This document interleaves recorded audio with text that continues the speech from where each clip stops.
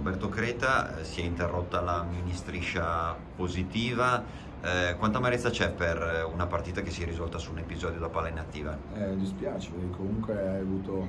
due o tre situazioni a fine del primo tempo dove potevamo fare gol, non siamo riusciti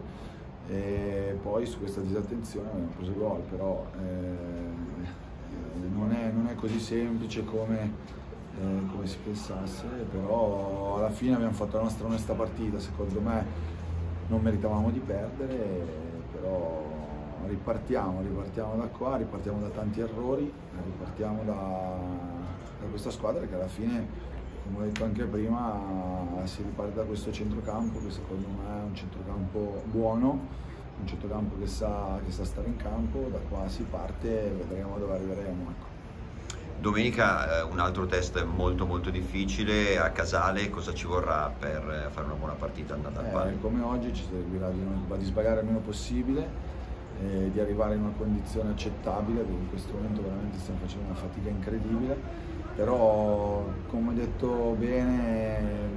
è normale che in queste situazioni qua se a rincorrere dai sempre qualcosa in più però non abbiamo forza nelle gambe, non abbiamo corsa, si vede proprio che stiamo facendo fatica, però non è una scusa, eh, dobbiamo lavorare di più, io sono responsabile, perciò dobbiamo solo metterci lì e, e continuare a lavorare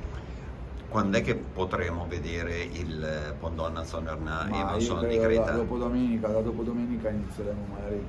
a mettere qualche concetto in più, visto che comunque il, terzo, il secondo infrasettimanale, allenamenti ne abbiamo fatti pochi, però sinceramente oggi mi aspettavo qualcosa in più, non, è, non, è, non c'è stato, però, però, va bene, nel senso che non, non posso assolutamente incolpare sotto il profilo dell'impegno la squadra, anzi ha dato, ha dato tutto quello che poteva dare.